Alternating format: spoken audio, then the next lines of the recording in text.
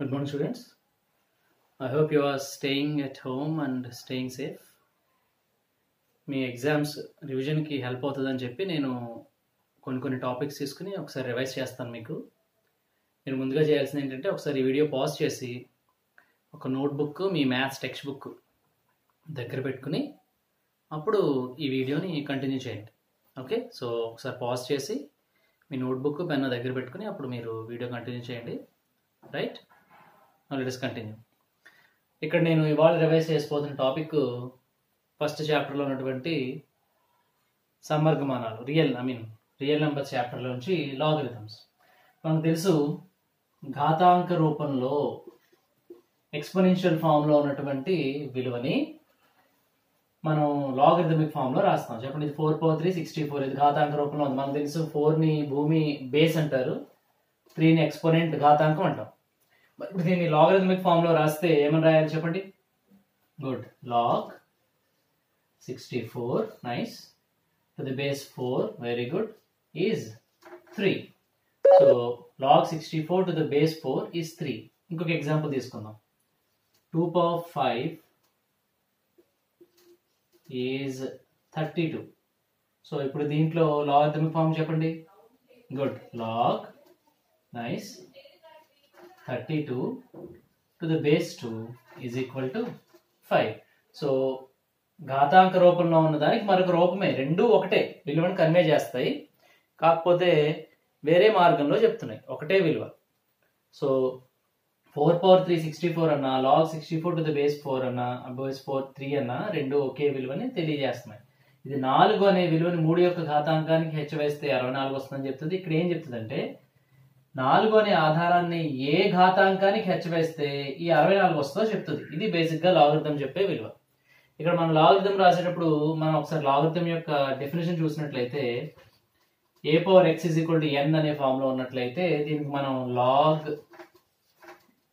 n to the base a is equal to x అని రాస్తాం.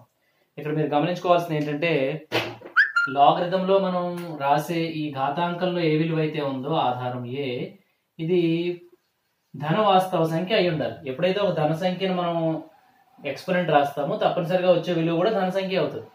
So అందువల్ల ఇక్కడ ఏ ఎన్లు ధన వాస్తవ సంఖ్యలు ధన వాస్తవ సంఖ్యలు అవుతాయి. ఇంకొకటి ఏంటంటే ఈ ఏ ఒకటికి సమానం కాదు.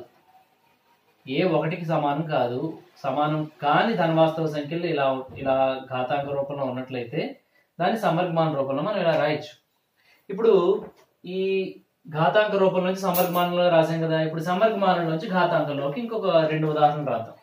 అప్పుడు మీకు కొంచెం అటు నుంచి ఇటు ఇటు నుంచి ఇటు వైస్ వరుస కూడా రాయడం అర్థం అవుతుంది. ఉదాహరణకి లాగ్ ఏదో sixteen to the base four is equal to two ఇంకొకటి log thousand to the base ten is equal to three ఇప్పుడు ఈ రెండింటికి మీరు ఒకసారి వీడియోని పాజ్ చేసి ఘాతాంక రూపంలో రాయండి.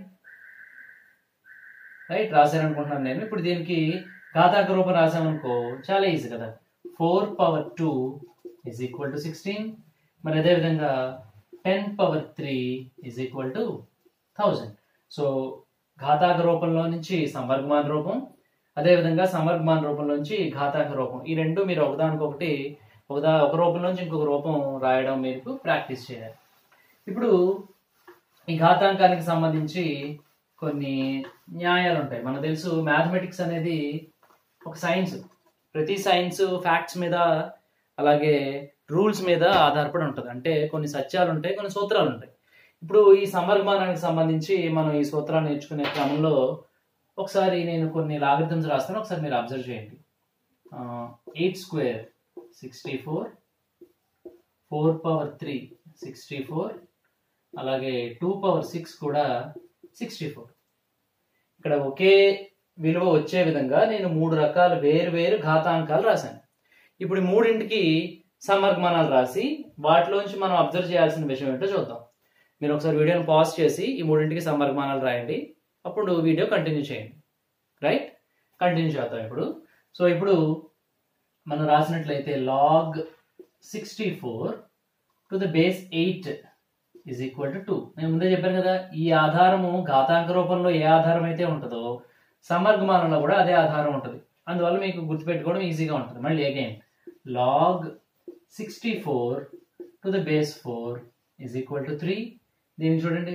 Log sixty four to the base two is equal to six ఇక్కడ మీరు గమనిస్తే మనం మూడు సార్లు కూడా సమర్గమానం అరవై నాలుగుకే రాసాం. Log sixty four log sixty four log sixty four కానీ మూడు సార్లు మూడు వేరు వేరు విలువలు వచ్చినాయి.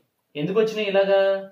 ఎందుకంటే మూడు సందర్భాల్లోని కూడా ఆధారాలు వేరు వేరు. ఇక్కడ భూమి ఎనిమిది ఇక్కడ భూమి నాలుగు ఇక్కడ భూమి రె- రెండు. అంటే మనం గమనించుకోవాల్సింది ఏంటంటే ఒక సంఖ్య యొక్క సమ్మర్గమానం వేరు వేరు ఆధారాలకి వేరు వేరుగా ఉంటది. Logarithm of a number for different basis is different so logarithm of a number is different for each different base so ఇక్కడ బేస్ మారిన ప్రతిసారి ఈ సమర్గమానం విలువ కూడా మారిపోతుంది ఇది సమర్గమానాల్లో మనం గుర్తుపెట్టుకోవాల్సినటువంటి విషయం ఓకే థ్యాంక్ యూ